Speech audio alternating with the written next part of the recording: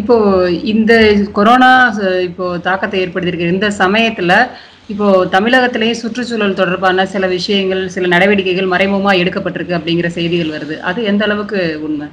ரெண்டு விஷயம் வந்து பார்த்தோம் இந்திய அரசாங்கத்தோட சுற்றுச்சூழல் துறை அமைச்சர் அதாவது பிரகாஷ் ஜவடேகர் வந்து ரெண்டு நாளைக்கு முன்னாடி அதாவது காடுகளுக்குள் அமைக்கப்படக்கூடிய திட்டங்களுக்கு வந்து ஒரு ஒரு கிளியரன்ஸ் ஆகணும். வைல்ட் லைஃப் போர்ட் கிளியரன்ஸ் ஆகணும். அது வந்து தேசிய வனவிலங்கு வாரியத்துலேருந்து நீங்கள் வந்து வாங்கணும். அந்த அந்த வா அந்த வாரியம் வந்து இப்போ மீட் பண்ணி வீடியோ கான்ஃபரன்சிங் மூலம் மீட் பண்ணி இதே போன்ற ஒரு பதிமூன்று பதினாலு திட்டங்களுக்கான அனுமதியை கொடுத்துருக்கோன்னு சொல்லி ட்விட்டர் வந்து போட்டிருக்காரு. நம்ம கேள்வி இன்னைக்கு இந்தியா முழுக்க வந்து கொரோனாக்காக மிகப்பெரிய போராட்டம் வந்து இந்தியா வந்து நடத்திட்டு இருக்கு. அதுவும் வரக்கூடிய பல்வேறு ஆய்வுகள் நமக்கு வந்து டீப் சீக்வன்சிங் சொல்லுவாங்க. அதாவது இந்த இந்த மரபணு மரபணுவை வரிசைப்படுத்துதல் சீக்வன்சிங் சொல்லுவாங்க. அப்போ இந்த இந்த ஜெனோட்டிக் Jino genome sequencing genetic sequence தாங்க அப்போ அதன் மூலமாக தான் நீங்கள் வந்து பிடிச்சி பிடிச்சி பிடிச்சி பிடிச்சி இந்த நோய் இந்த வைரஸ் எதன் மூலமாக வந்ததுன்னு நமக்கு வந்து தெரிய வரும். ப்ளஸ் இந்த வைரஸோட அந்த ஸ்ட்ரக்சர் எப்படி தெரிஞ்சதுன்னா நீங்கள் அதை வச்சு தான் நீங்கள் வந்து டெஸ்ட் கிட்ஸ் வந்து உருவாக்க முடியும். ஏன்னா இந்த வைரஸோட ஸ்ட்ரக்சர் இப்படி தான் இருக்குது அதை நீங்கள் டெஸ்ட் பண்ணால் இந்த மாதிரியான மெடிக்கல் டெஸ்ட் கிட் தான் நீங்கள் உருவாக்க முடியும். அதுதான் அந்த டீப் சீக்வன்சிங் பண்ணுறாங்க ஸோ அந்த டீப் சீக்வன்சிங் பண்ணுறது மூலமாக இப்போ தெளிவாக தெரிய வந்துருச்சு. இந்த கொரோனா வைரஸ் வந்து வவ்வால்கள்லேருந்து எறும்பு திணிகளுக்கு போய் பேங்கோலின்னு சொல்லக்கூடிய எறும்பு திணிகளுக்கு போய் அந்த எறும்பு திணிகள்லேருந்து மனிதர்களுக்கு வந்துச்சுன்னு சொல்லி சொல்லுது. ஏன்னா அந்த எறும்பு திணிகளோட அந்த செதில் இருக்கிற ஸ்கேல்ப்ஸ் அது வந்து சீன மருத்துவத்தில் ஒரு முக்கியமான பங்காற்று ஸோ அதுலேருந்து மனிதர்களுக்கு வந்ததாக வந்து அந்த தரவு அந்த ஊகானோட ஒரு ஒரு வெட் மார்க்கெட்டில் வந்து சொல்கிறாங்க ஸோ அப்படின்னு தெளிவாக தெளிவாக வந்து நமக்கு வந்து தெரிய வருது. அப்போ வந்து என்ன சொல்கிறாங்கன்னா விஞ்ஞானிகள்லாம் ஏன் இதை போன்ற ஜுனாட்டிக் டிசீசஸ் ஜுனாட்டிக் டிசீசஸ்னா விலங்குகள்கிட்டருந்து மனிதர்களுக்கு பரவக்கூடிய நோய்கள். இப்போ இது கொரோனா வந்து விலங்குகள்கிட்ட மனிதர்களுக்கு வரக்கூடிய நோய் தான் அது. அந்த டிசீசஸ் ஏன் அதிகமாக பரவுதுன்னா விலங்குகளோட ஹேபிட்டட் வாழ்விடங்கள் வந்து சுருங்குது. அப்போ மனிதர்களும் விலங்குகளும் இன்ட்ராக்ட் பண்ற நேரங்கள் அது சந்தர்ப்பங்கள் அதிகமாகுது. ஏன்னா அது அதை காடு தான் நம்ம நிறைய விஷயங்கள் செய்கிறோம் காட்டை அழிச்சு தான் நம்ம செய்கிறோம் ஸோ காட்டை அழிச்சு நம்ம செய்யக்கூடிய விஷயங்கள்லாம் என்ன ஆகுதுன்னா அந்த காட்டுக்குள்ளே நம்ம போகும்போது அல்லது நம்மளுடைய ப- பரிமாற்றங்கள் நடக்கும்போது அந்த காடுகளுக்கு இருக்கிற வைரஸ்கள் வந்து மனிதர்களுக்கு தொற்றுக்கான வாய்ப்புகள் வந்து அதிகமாக இருக்கு. நிப்பா வைரஸ் வந்து அப்படிதான் வந்துச்சுன்னு நம்ம வந்து அந்த தர அந்த வவ்வால்லேருந்து வந்ததை வந்து நம்ம பார்த்தோம். ஸோ அப்போ வந்து காடுகளை காப்பாற்ற வேண்டும். வனவிலங்குகள் வாழக்கூடிய ஹேபிட்டட்ஸ் வாழ்விடங்கள் வனவிலங்குகளுக்கான வாழ்விடங்களை காப்பாற்ற வேண்டும்னு உலகம் முழுக்க வந்து இந்த அறைகூவல் வந்து வந்திருக்கு. இப்படிப்பட்ட ஒரு சூழல்ல நம்முடைய இந்திய சுற்றுச்சூழல் துறை அமைச்சர் வந்து வீடியோ கான்ஃபரன்சிங்லேயே வந்து நேஷனல் வைல்ட் லைஃப் போர்டை வந்து அந்த அந்த அந்த கிளியரன்ஸுக்கான கமிட்டியை கூட்டி வீடியோ கான்ஃபரன்ஸ்லேயே டிஸ்கஸ் பண்ணி அனுமதி கொடுத்துருக்கோன்னு சொல்றாரு. இதை விட ஒரு பைத்தியகாரத்தனம் வந்து எதுவும் வந்து இருக்க முடியாது. ஏன்னா இன்னைக்கு வந்து ஹேபிட்டட் லாஸ் தான் வனவிலங்குகளின் வாழ்விடம் சுருங்குவது தான் இதை போன்ற கொரோனா போன்ற வைரஸ்கள் பரவதுக்கு முக்கியமான காரணம்னு ஆய்வுகள் சொல்றப்ப இந்திய சுற்றுச்சூழல் துறை அமைச்சர் வந்து காடுகளுக்குள் அமைக்கப்படும் திட்டத்துக்கான அனுமதியை கொடுப்பது வந்து ஒரு மிகப்பெரிய ஒரு முரணான விஷயமா நம்ம வந்து பார்க்கலாம் இரண்டாவதாக தமிழக அரசு அந்த ஆகா கமிட்டி அதாவது ஹில் ஏரியா கன்சர்வேஷன் கமிட்டி அந்த கமிட்டியோட ரூல்ஸ்ல வந்து அந்த அதுக்குரிய பவர்ஸை முழுக்க எடுத்து இந்த பிளாட்ஸ் எல்லாம் நீங்க வந்து ரெகுலரைஸ் பண்ணிக்கலாம். நீங்க எப்ப கட்டினாலும் பரவாயில்ல. இப்போ வந்து நீங்க வந்து அதை வந்து லீகலைஸ் பண்ணிக்கலாம்னு சொல்லிக்கிறதும் இந்த நேரத்தில் ரொம்ப தவறான ஒரு விஷயம். ஏன்னா அது வந்து ஆக்கா கமிட்டி அமைக்கப்பட்டதே வந்து இதை போன்ற மலை மலை சார்ந்த பகுதிகளை பாதுகாக்க வேண்டும்ங்கிறதா அந்த ஆக்கா கமிட்டி வந்து தொண்ணூறுகளில் வந்து உருவாக்கி அதுக்கான தனி சட்டத்தை வந்து டவுன் அண்ட் கண்ட்ரி பிளான் வந்து கொண்டு வந்தாங்க. ஸோ அப்போ அந்த அந்த சட்டங்களை அந்த விதிகளை வந்து அஹ், நீர்த்து போக செய்வது என்பது இந்த கொரோனாவை கையாளுவதற்கு அப்படியே எதிரான விஷயமா தான் நம்ம வந்து பார்க்க முடியும். இன்னைக்கு இருக்கக்கூடிய சூழல்ல உலக அளவுல வந்து காற்று மாசுபாடு குறைஞ்சிருக்கு. நீர் வந்து அதோட மாசுபாடு குறைஞ்சிருக்கு. இப்படி மக்கள் பயன்படுத்தக்கூடிய எல்லா எல்லா இடங்கள்லையுமே வந்து இன்னைக்கு தூய்மையா இருக்கு. விலங்குகள் வந்து வெளியில வந்துட்டு போகுது. இப்படி நிறைய சுற்றுச்சூழல் மாற்றங்களை பார்க்க முடியுது. ஆனா இது தொடர்ந்து இருக்குமா அப்படிங்கிற ஒரு கேள்வி இருக்கு. ஏன்னா நீங்க முன்னாலே ஒரு தடவை சொல்லியிருக்கீங்க. இது வந்து இப்போதைக்கு நம்மளை வந்து ஒரு வலுக்கட்டாயப்படுத்தி நம்ம வந்து நம்ம வந்து இந்த இந்த முறைக்கு வந்து நம்ம தயாராகிக்கும். ஆனா மறுபடியும் இதே வேகத்தோட தொடர்ந்து செயல்படக்கூடிய ஒரு சூழல் வரலாம் அப்படின்னு சொல்லிட்டு. மத்திய அரசு எடுத்தக்கூடிய நடவடிக்கைகளும் தமிழக அரசு எடுக்கக்கூடிய நடவடிக்கைகளும் முன்னுக்கு பின் முரணா இருக்கு. அப்போ ஆட்சியாளர்களுக்கு இல்ல அரசுகளுக்கு இதை பற்றியான சரியான புரிதல் இல்லைன்னு நம்ம எடுத்துக்கிறதா? இல்ல இது குறித்த இன்னும் தெளிவின்மை அங்க இருக்குன்னு எடுத்துக்கிறதா?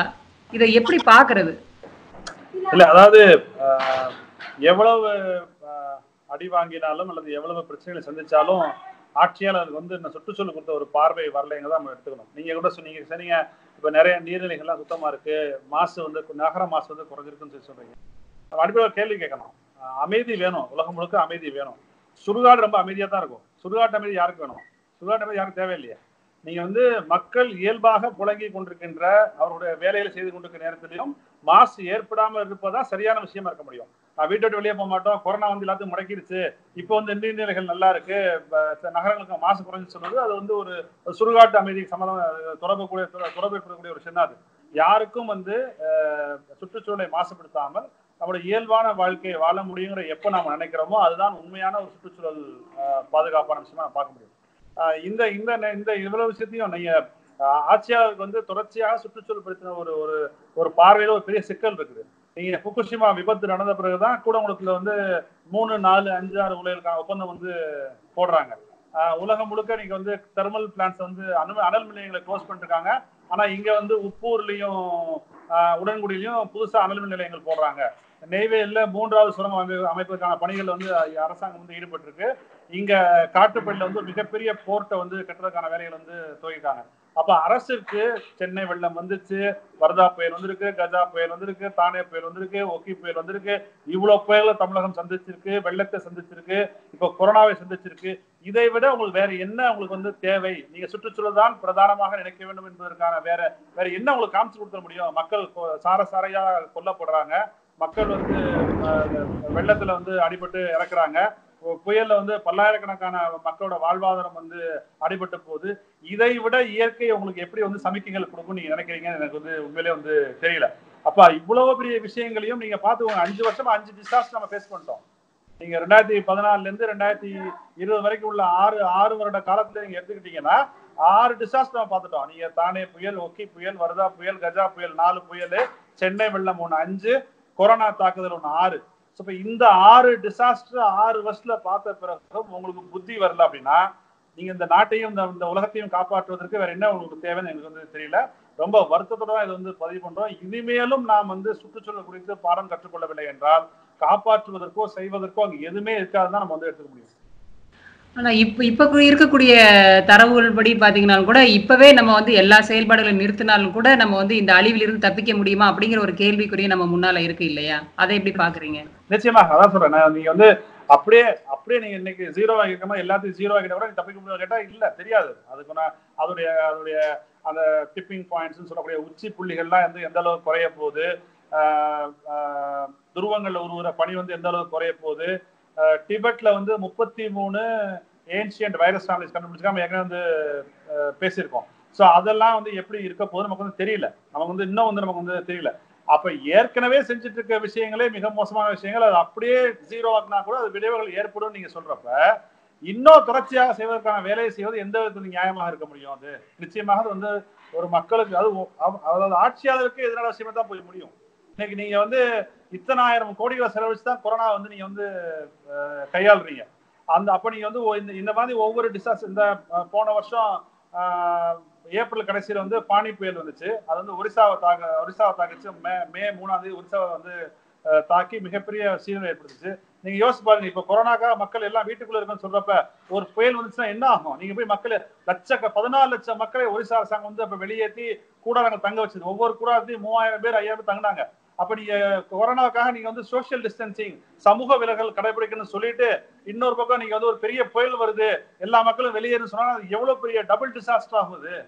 அப்ப நீங்க வந்து இரட்டை பேரிடரா வந்து முடியும் அது. அப்ப நீங்க உங்களுக்கு இதை இதை விட ஒரு சூழல் தான் முக்கியம்னு சொல்லக்கூடிய ஒரு சந்தர்ப்பம் ஒரு வாய்ப்பு வந்து எப்படி கிடைக்கும்னு எங்களுக்கு தெரியல. நாங்க we are we are we are loss of words எங்களுக்கு அந்த எந்த வார்த்தைகளை தேடி நாங்க அதை சொல்றது வந்து எங்களுக்கு வந்து தெரியல எங்களுக்கு. நீங்க உங்க உங்களை நீங்க சொல்லக்கூடிய அந்த வார்த்தைகள்லாம் ரொம்ப ஒரு வழி மிகுந்ததா தான் இருக்கு. ஏன்னா அது வந்து உண்மையிலே ஒரு கண் முன்னால பார்த்துட்டு இருக்க ஒரு சம்பவமா இருக்கு. ஏன்னா இப்ப மழைக்காலமாவும் இருக்கு. இப்ப மழைக்காலம்னு சொல்ல முடியாது. இப்ப வந்து தொடர்ந்து வந்து அடுத்தடுத்து மழை வரும்ன்றாங்க. ஏன்னா பருவகாலம் மாறி இருக்கு. எப்ப புயல் வரும்? எப்ப வந்து வெள்ளம் வரும்? அப்படிங்கிறதே வந்து நம்ம அப்போ அப்போ கணிக்கக்கூடியதா தான் இருக்குது. முன்னே அது நம்ம கணிக்கிற மாதிரி நடக்கிறது இல்லை இயற்கை வந்து நிறைய நமக்கு அது இயற்கைக்கு நம்ம நிறைய முரணா செஞ்சிட்டதுனால இயற்கை வந்து நமக்கு நிறைய முரணா செஞ்சுட்டு இருக்குன்னு நினைக்கிறேன். இப்போ இப்ப இந்த சூழல்ல இப்ப கொரோனால சில பாடங்களை நம்ம கத்துக்கிட்டோம் அப்படின்னு நம்புறோம். ஏன்னா சில இடங்கள்ல சில சேஞ்சஸ் வரலாம்.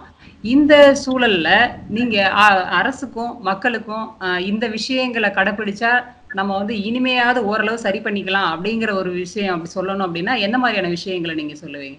நான் முக்கியமா சொல்ல வரும்போது வந்து அடிப்படையில வந்து ஏற்கனவே பல இடங்களை சொன்னதுதான். நான் உங்ககிட்ட பேசும்போது சொல்லியிருக்கேன்.